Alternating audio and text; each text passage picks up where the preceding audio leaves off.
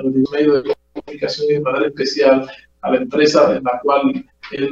duró decenas de años laborando, que es este grupo Telenor, y es nuestro gran amigo eh, Pedro Fernández, quien en el día de ayer eh, falleció en un centro médico de Santiago, aquejado por diversas eh, razones, ¿verdad? En principio, cuando fue llevado a Santiago para ser tratado por el asunto de salud,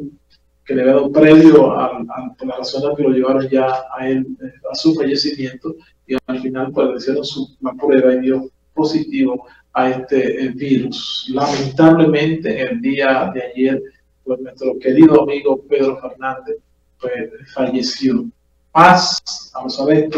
de Pedro Fernández, el periodismo, la comunicación en el día de hoy está de luto por el fallecimiento de Pedro Fernández. Así que pedimos a Dios que le tenga un lugar reservado donde él está en este momento. Así como también seguir nosotros pidiendo por todos los que hasta el momento están siendo afectados de manera directa por este virus que está causando estrago en el mundo entero. Paz a los arrestos de Pedro Fernández. En otro orden, eh, vimos nosotros ayer unas declaraciones que diera el presidente de este grupo Telenor, el señor eh, Julio Vargas, refiriéndose. Eh, estas declaraciones fueron dadas para una cadena eh, nacional, específicamente para CDN, donde él le pedía en su condición de presidente del grupo Telenor, en su condición de una persona que tiene toda la calidad a vida y por haber para hacer este tipo de exigencia y más en este momento eh, donde estamos llamando a que depungamos nosotros esa actitud eh, muchas veces que exhibimos eh, de estar ajeno a la sensibilidad y al dolor ajeno. El señor Julio Vargas declaró para hacer y este medio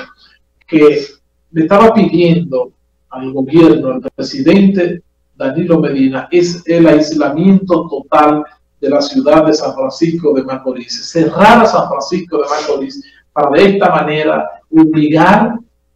a esta ciudad a que sus municipios se queden en su casa por la manera tan irresponsable,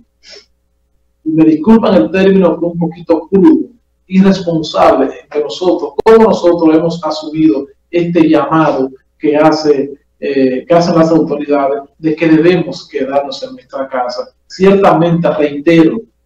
una gran mayoría de municipios están en la necesidad de, de alguna manera, conseguir el sustento. Entonces, es ahí donde debe entrar la mano solidaria del gobierno, proporcionarle, suministrarle, hacerle que llegue de alguna manera esas raciones alimenticias para que las personas, para que los municipios no tengan la mínima posibilidad de salir a las calles y continuar contagiando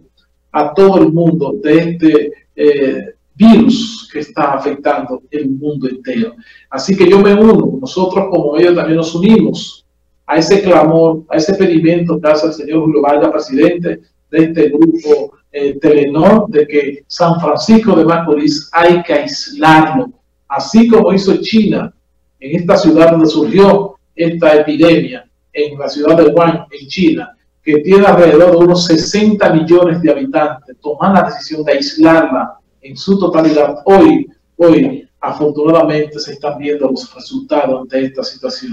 Así que reiterar, nos unimos a este pedido que hace don Julio Vargas eh, para que el presidente, de una vez y por todas, conjuntamente con las autoridades, pues, tome esa decisión. Y creo que posteriormente estaremos nosotros recibiendo los beneficios que podría generar esta decisión del presidente. Así que reiterar, nos unimos a la, petición que hace el presidente del Grupo Terreno Global, así como también veíamos nosotros en el día de ayer a ese comunicador franco macorizano el de este pueblo que vive en la ciudad de Santiago, Nelson Javier, también dedicó su espacio, eh, buenas noches, eh, a esa, abrir los, teléfonos para que personalidades y figuras se llamaran, se comunicaran al espacio y de esto, pues identificándose con esta acción. Así que también Nelson Javier se hizo eco de esta petición que hizo don Julio Vargas.